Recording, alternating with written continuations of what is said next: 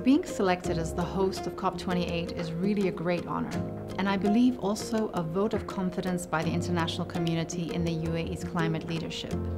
People know that we are serious, from being one of the world's top renewable energy investors to pioneering net zero in the heart of the hydrocarbon industry. We are committed to delivering a highly consultative, inclusive and practical COP and working with all stakeholders to find the path to climate ambition that works for them. It is so critical for both developed and developing countries that we show the economic case for embracing climate action.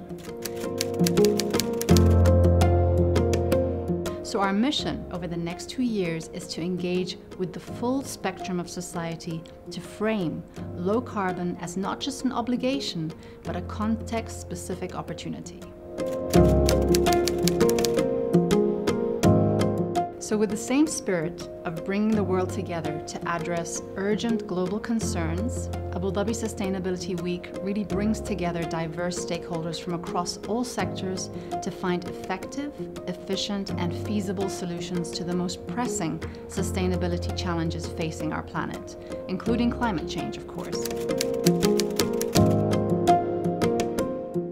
A dynamic, solution-oriented global platform that's exactly what Abu Dhabi Sustainability Week serves as a springboard for climate-friendly innovations and breakthrough projects that can really help us build a better future for humankind.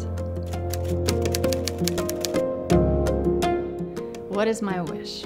I wish for our planet to be a vibrant, life-giving and sustaining ecosystem that is home to people who are committed to living in harmony with nature by adopting resource conservation and being environmentally conscious while making everyday decisions.